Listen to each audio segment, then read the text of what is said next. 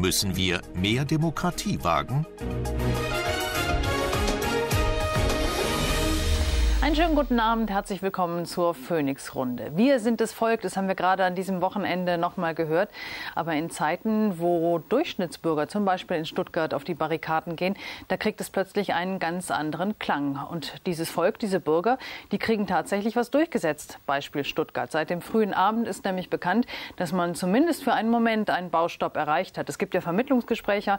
Heiner Geißler wird da den Mediator, den Schlichter machen. Und er gesagt äh, und offensichtlich auch erreicht, dass es erstmal diesen Baustopp gibt, solange diese Vermittlungsgespräche laufen. Damit ist sowohl der Ministerpräsident Mappus als auch der Bahnchef Grube einverstanden, heißt es am frühen Abend in einer Meldung.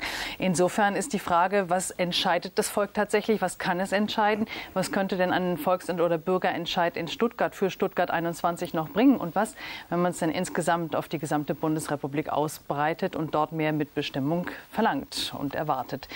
Darüber redet heute bei uns die folgende Runde. Michael Effler ist bei uns zu Gast. Er ist im Bundesvorstand der Organisation Mehr Demokratie. Und für ihn ist klar, Stuttgart 21 wird zum Mahnmal parlamentarischer Dickköpfigkeit. Bei Projekten, die eine Stadt derart verändern, müssen die Bürger selbst entscheiden können. Thomas Strobel, der Generalsekretär der CDU in Baden-Württemberg und Chef der entsprechenden CDU-Landesgruppe im Bundestag, gibt dagegen zu bedenken, für einen Bürgerentscheid ist es bei Stuttgart 21 zu spät. Das Projekt hat alle demokratischen Instanzen längst durchlaufen. Der Leiter des Hauptstadtbüros der Bild, Nikolaus Blome, gibt ihm recht. Das ist nicht die Arroganz der Macht, sondern eine Politik, die sich an Mehrheitsbeschlüsse hält. Ein Großprojekt wird niemals allen gefallen, sagt er. Und Professor Dieter Rucht ist bei uns Protestforscher am Wissenschaftszentrum Berlin und ATTAC-Mitglied. Und er stellt fest, ein Teil der Berufspolitiker hat sich von den Bürgern entfernt. Das führt zu Parteienverdrossenheit. Aber eine Politikverdrossenheit gibt es offenbar nicht, eher im Gegenteil. Herr Struppel, fangen wir erst noch mal aktuell an. Äh, als Baden-Württemberger, als Generalsekretär von Stuttgart, ähm, wie ist denn da im Moment der Stand? Wie wird das jetzt laufen mit den Vermittlungsgesprächen? Nun, wir haben vor allem ein Interesse, dass äh, wir ein bisschen ruhiger werden, alle miteinander. Das äh, waren ja furchtbare Bilder bei dieser großen Demonstration mit äh, Hunderten von verletzten Polizisten, verletzten Demonstranten. Und da haben wir gesagt, das darf nicht mehr passieren. Wir wollen alles dafür tun, dass sich solche Szenen nicht wiederholen. Das haben wir durchaus äh, ernst gemeint. In einer Demokratie muss es vor allem so sein, dass man miteinander spricht. Das war über lange Zeit nicht möglich, weil wenn die Trillerpfeifen sehr laut sind, die Vuvuzelas, insbesondere wenn Flaschen, Gegenstände, Feuerwerkskörper fliegen, wenn eine vergiftete Atmosphäre ist, dann kann man nicht debattieren, dann gibt es keinen Diskurs. Deswegen wollen wir alles dafür tun, dass wir ins Gespräch kommen miteinander. Deswegen Heiner Geißler als äh, Vermittler, den wir akzeptieren, von den Grünen vorgeschlagen. Und ich bin wirklich äh, guter Hoffnung und Zuversicht, dass wir es jetzt endlich schaffen miteinander denn, zu reden. Sind Sie denn sicher, das ist jetzt diese Eskalation der Gewalt ist heute genau eine Woche her. Ähm, sind Sie nach wie vor der Ansicht nach Ihren bisherigen Recherchen, dass die Polizei da richtig gehandelt hat, nicht überreagiert hat? Nun, das wird genau untersucht ähm, werden. Da bin ich nicht zuständig dafür. Ich bin Parlamentarier und nicht äh, die Aufsicht der äh, Polizei. Deswegen sage ich nach den bisherigen Erkenntnissen. Nach dem, was also ich frage deshalb, weil es beispielsweise ja. am Anfang hieß, die Demonstranten haben Steine geworfen. Das musste die Polizei dann wieder zurücknehmen, weil es dann doch keine Steinewerfer gab. Deswegen bin ich äh, auch etwas zurückhaltend, mhm. bis die Dinge endgültig aufgeklärt äh, sind. Ich kann nur sagen, bis zur Stunde und ich habe mit äh, Kollegen gesprochen, die im Innenausschuss des Bundestages sich die Bilder angeschaut haben. Ich habe mit, dem, mit Kollegen aus dem Land Baden-Württemberg gesprochen, die sich intensiv ähm, damit beschäftigt haben. Bis zur Stunde habe ich keine Anzeichen dafür, dass die Polizei rechtswidrig gehandelt hat. Ich habe keine Anzeichen dafür, dass es unverhältnismäßig ähm, gewesen ist. Es gab in der Tat natürlich nicht von allen Demonstranten, aber eben von einzelnen Demonstranten äh, durchaus eine sehr große Aggressivität gegenüber der Polizei. Es wurden äh, Flaschen, Feuerwerkskörper und andere Gegenstände äh, der Polizei entgegengeworfen und anderes mehr, äh, sodass es sich im Augenblick äh, schon so darstellt, dass das äh, Eingreifen der Polizei in Ordnung gewesen ist. Das heißt aber nicht, dass wir das jede Woche machen müssen. Nein, wir wollen eine solche Demonstration und auch eine solche solche Auseinandersetzung in Stuttgart nicht mehr haben. Ja, jetzt haben Sie aber direkt danach befragt, haben Sie gesagt, irgendwie man darf äh, die Agitation linksextremistischer Protestführer nicht durchgehen lassen.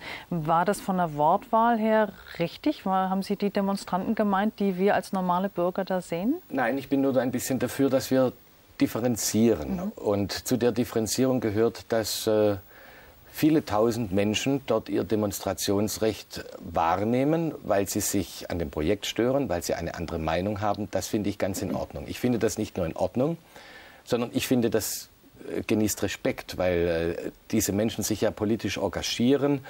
Äh, und das ist in, in unserer Demokratie etwas, wo ich finde, dass man mit Respekt begegnen muss.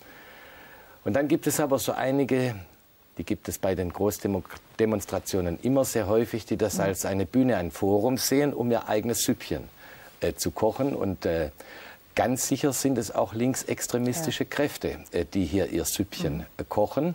Und äh, der Sprecher äh, dieser Großdemonstration, Herr Stocker, ähm, war äh, viele, viele Jahre in der Deutschen Kommunistischen Partei gewesen.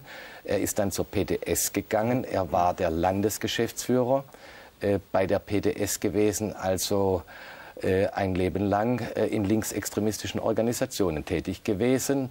Ich finde, darauf muss man hinweisen dürfen. Stellen wir uns einmal vor, das wäre ein Rechtsextremist, das stünde jeden Tag in allen Zeitungen und ansonsten geht es so ein bisschen unter. Und deswegen finde ich einfach, damit wir alle informiert sind, dass man so, dass man so einen Hinweis zuweilen schon einmal geben darf. Okay, ich habe nie gesagt, ähm, diese 20, 30, 50.000 Menschen sind alles, alles Linksextremisten. Das wäre absurd. Okay, dann haben Sie jetzt aber auch noch mal diese Sicht dargelegt, solange sie, soweit sie bislang klar ist, äh, Herr Blum. Trotz allem sind es in der Mehrheit äh, ganz normale, unbescholtene Bürger. Sie sagen ja eigentlich, ähm, die haben das Recht zu demonstrieren, aber bitte nur friedlich. Ähm, würden Sie sagen, dass umgekehrt dann in einem solchen Fall, wo möglicherweise Aggression von wem auch immer sie dann ausgegangen ist, wo Aggression herrscht, ist diese Härte der Polizei gegen Durchschnittsbürger gerechtfertigt? Ich glaube, das werden Sie am Ende nie mehr klären, ob da jemand eine Kastanie, einen Pflasterstein oder eine Flasche geworfen hat. Das finde ich geht aber auch komplett am Thema vorbei. Denn letztlich werden Sie ja nicht äh, die Legitimation oder die, die Nichtlegitimation für diesen Großbau Stuttgart 21, diesen Bahnhof davon ableiten wollen, ob die Demonstration jetzt glücklich verlaufen ist oder nicht. Die ist erkennbar nicht glücklich verlaufen und solche Bilder will keiner sehen. Ich glaube, weder auf der Seite der Polizei noch auf der Seite der Demonstranten schon gar nicht. Ähm, Worum es geht, ist die Frage, ob Stuttgart 21 gebaut werden soll oder nicht. Und äh, der Punkt, gab es einen Schuldigen an dem, aus dem Ruderlaufen dieser Demonstration? Und wenn ja, wer war er? Antwortet nicht auf die Frage, ob man Stuttgart 21 bauen soll. Nein, sicherlich nicht. Aber auf die Frage, wie, wie sehr haben denn Bürger das Recht, äh, ihre in der Demokratie verbrieften Recht durchzusetzen oder müssen damit rechnen, dass sie eine blutige Nase kriegen? Darum geht es ja auch. Ich glaube, die Bürger sollten niemals rechnen müssen, eine blutige Nase zu kriegen, wenn sie friedlich demonstrieren. Äh, in einer Großdemonstration von mehreren 10.000 Leuten, wer das schon mal mitgemacht hat, trifft sich ein sehr, sehr heterogenes, eine sehr, sehr heterogene Gruppe von Demonstranten. Und ähm, es ist immer traurig zu sehen, dass irgendwo ein schwarzer Block hängt, ob er nun rechtsextrem ist oder linksextrem ist, um zu kommen, um Krawall zu machen. Ähm, und die Polizei, muss man auch sagen, reagiert nicht immer clever. Äh, wie es in diesem speziellen Fall war, wage ich nicht zu beurteilen. Ähm, es wird hoffentlich irgendwie noch weiter geklärt werden.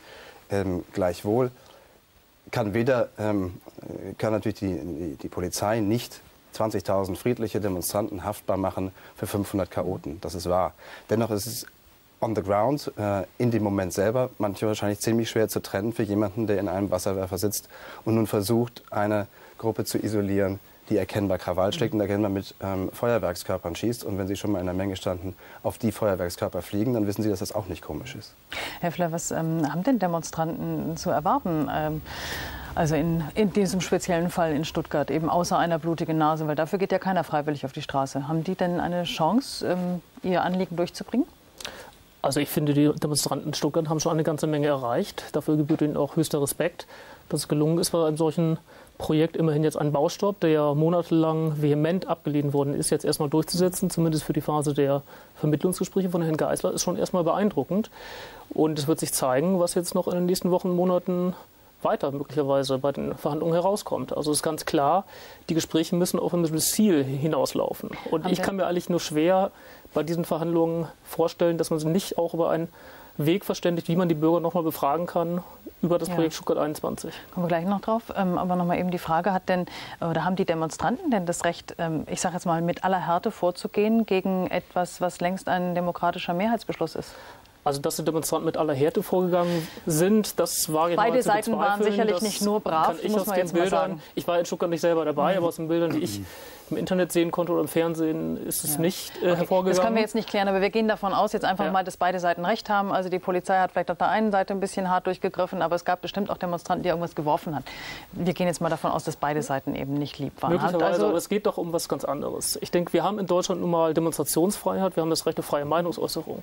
Und diese ist nicht verwirkt, wenn demokratische Beschlüsse von Parlamenten getroffen worden sind oder wenn Gerichte etwas entschieden haben. Sondern man kann immer seine Meinung äußern, auch Absolut. wenn möglicherweise ein Projekt schon in einem Absolut. fortgeschrittenen Stadium ist. Deswegen kann man das den Bürgern nicht vorwerfen, auf die Straße zu gehen. Das Nein. ist eine völlig, eine völlig legitime Ausübung demokratischer Grundrechte. Das wird manchmal verbrämt in Richtung eines Widerstandsrechts. Und das ist nur in der Verfassung das was komplett anderes. Das ist, hat eine andere historische also Das ist das Recht des Bürgers, Bedeutung. sogar Straftaten in Anführungsstrichen zu begehen, wenn er sich gegen einen erkennbar grundrechtswidrigen Eingriff des Staates das ist eine ganz andere Dimension. Was, das aber das Punkt. ist dort nicht der Fall. Also es geht um friedliche Demonstrationen, die sind, glaube ich, erlaubt und auch weit über das letzte Gerichtsurteil, den letzten Stadtratsbeschluss hinaus. Aber gleichzeitig muss, glaube ich, auch der Demonstrant, die Demonstranten dann anerkennen, dass ähm, in diesem Fall die Stadtregierung, die Landesregierung das Recht hat, den Bau zu beginnen. Wenn sie ihn jetzt aussetzt, was immer daraus wird, aber dass sie ihn hätten beginnen können, das konnten die Demonstranten, finde ich, ähm, der Stadtregierung, der Landesregierung nicht absprechen. Professor Roth, würde ich Ihre Meinung gerne noch zu, ja. zu hören. Also wenn es um ein, wir gehen jetzt nochmal von einem demokratisch legitimierten Bauprojekt, das muss man so mhm. nennen, ähm, und nicht? Ähm, ich, ich, ich, ich verstehe nicht ganz Ihren Zusatz, das muss man so nennen. Das ist so. Es ist ein Projekt, ähm, welches hunderte Mal in den Parlamenten war. Ja. Es gab große Mehrheiten in den Parlamenten.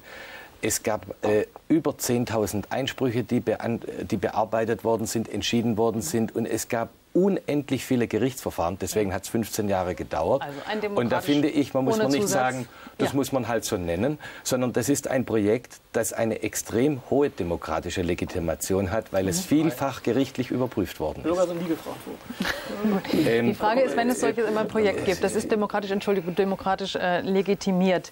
Ähm, wie massiv darf denn dann noch die Meinungsäußerung dagegen sein? Oder muss sich dann doch irgendwann ähm, die Minderheit einer Mehrheitsentscheidung beugen? Sie muss auf jeden Fall gewaltfrei sein. Mhm. Aber ich würde gerne noch mal zu den Vorfällen zurückkommen, wohl wissend, dass wir das hier am Tisch nicht aufklären können. Also wir alle hier waren nicht dabei. Wir wissen nicht, was sich genau ereignet hat. Das haben Sie gesagt. Das bleibt einer Untersuchung vorbehalten. Und gleichwohl geben Sie eine bestimmte Deutung der Ereignisse. Sie sagen, da war ein schwarzer Block da. Das sehen wir ja immer. Das ist ja immer da, was natürlich nicht stimmt. Ja, Sie sagen, das sind Flaschen ich habe geflogen. Ich habe abstrakte Frage geantwortet, darf, darf dass in Großdemonstrationen möglicherweise ein schwarzer Block dabei ist. Ob da unten einer dabei war, nur damit wir uns ganz klar sind, das weiß ich auch nicht, genauso wenig wie Sie. Also ja, Bilder, wo Pfefferspray etwa gegen Polizisten von den Demonstranten gerichtet worden ist, habe ich selber gesehen. Diese Bilder gibt es. Ähm, und damit ist schon auch klar, ähm, dass, es, ähm, dass es Gewalt und Straftaten gegen Polizisten gegeben hat. Ich finde es nicht in Ordnung, einen Polizisten mit Pfefferspray in okay, die Augen aber das hatten wir gerade auch schon geklärt. Wir ja. wissen es nicht genau, wer angefangen hat. Beide Nein. haben sicherlich ja. irgendwas gemacht. Jetzt aber, Professor aber wir schweben auch nicht ganz im luftleeren Raum, sondern wie ja. gesagt, diese Bilder gibt es und diese Bilder habe ich selbst gesehen. Ja, ähm, es gibt auch die anderen Bilder. Okay. Ja, natürlich. natürlich. So, Professor Ruch, Wir können die Vorfälle nicht genau rekonstruieren. Das war ja Ihre Aussage, dem stimme ich völlig zu. Nein. Aber wir sollten auch nicht jetzt unter der Hand eine bestimmte Deutung der Ereignisse hier vorstellen, die da heißt, es wäre ein schwarzer Block dabei gewesen, weil die immer ja dabei sind, oder es wären Flaschen geflogen. Lassen wir das doch mal offen und dann wird es geklärt. Aber stellen wir nicht die Behauptungen einfach in den Raum. Mhm. Okay. Ähm, jetzt haben Sie, Herr Struppel, äh, gesagt, also wir haben gerade gehört, irgendwie die Bürger sind nie gefragt worden. Sie sagen, für einen Bürgerentscheid ist es jetzt zu spät in Stuttgart. Warum eigentlich? Es hätte ja die Möglichkeit eines Bürgerentscheids durchaus gegeben. Wir haben ja in Baden-Württemberg in der Gemeindeordnung eine entsprechende Möglichkeit. Davon machen Bürgerinnen und Bürger auch Gebrauch. Es ist zum Beispiel beschlossen worden, vom äh, Stadtrat in Heidelberg eine Stadthalle äh, zu bauen und die Bürgerinnen und Bürger haben diese Entscheidung gekippt. Es gibt keine Stadthalle. Mhm. Bei Stuttgart 21 hätte es diese Möglichkeit. Gab es 2007 auch, weit äh, über 60.000 Unterschriften ja, für ein Bürgerbegehren. Das hat der Stadtrat abgelehnt. 2007 war es eben auch schon zu spät gewesen. Ähm, wir müssen schon sagen, dass es für eine solche Bürgerentscheidung natürlich nur einen bestimmten Zeitraum geben kann, wie immer bei staatlichen Entscheidungen.